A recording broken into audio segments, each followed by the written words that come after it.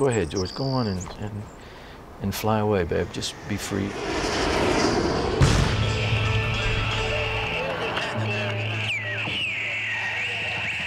He was clearly an innovator.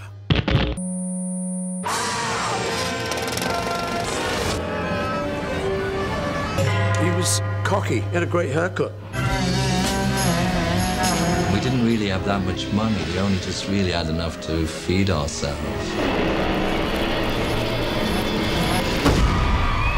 I think with George, it wasn't his ambition to be in the Beatles for his whole life.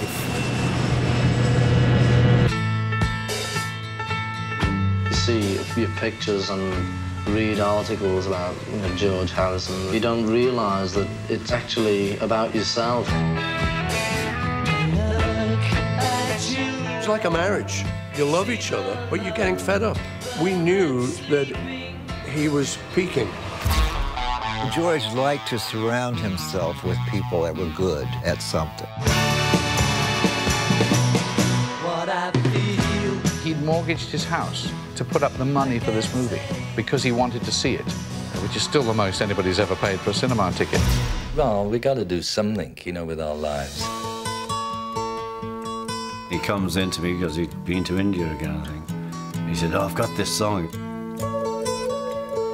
I think we shared a lot of tastes, cars or clothes, and, he, and women, obviously. Here comes the sun. I was being treated like the Messiah or something.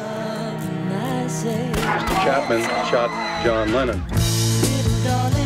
You know, if someone said you can have everything in five lifetimes, or you can have a really intense one, he would have said, Give me the one, I'm not coming back here. People always say I'm the Beatle who changed the most, but really that's what I see life is about. You have to change.